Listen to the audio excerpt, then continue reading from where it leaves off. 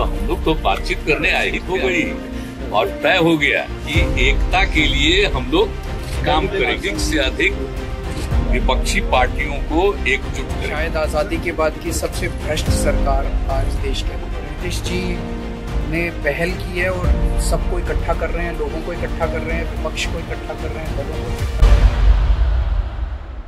तो बातचीत करने आए ही थे आपको तो बातचीत हो गई सर पूरी बातचीत हो गई। और तय हो गया। तो क्या तय हो गया? तो थोड़ा अगर- पक्ष की एकता के लिए हम लोग काम करेंगे। आज बात हो गई है। आप समझ गए दिन में बात करा ही दी आपको कांग्रेस। से। और उसके बाद वहाँ जो बात हुई और उसके बाद तो हम लोगों का पहले से इनसे बातचीत थी ही। तो आज फिर आ गए तो आज हम लोगों का ये तय हो गया कि नहीं। ठीक मतलब अधिक से अधिक अधिक से अधिक विपक्षी पार्टियों को एकजुट करेंगे सर कांग्रेस और देख लीजिए बाकी सब पर कोई कमेंट नहीं कर एक लाइन में बता दिया कि हम लोग अभी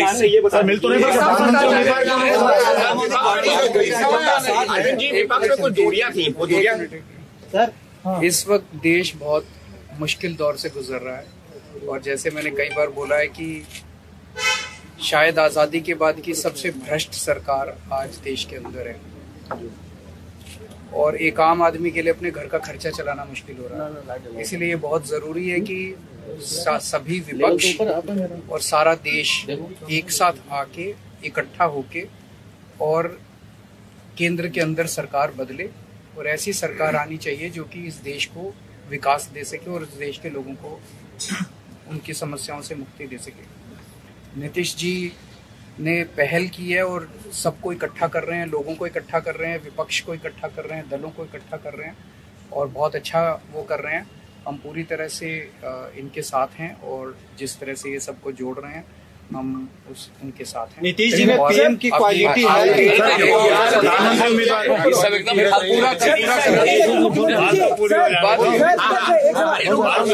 अभी- अभी अभी आप लोगों के मन में ढेर सारे प्रश्न होंगे।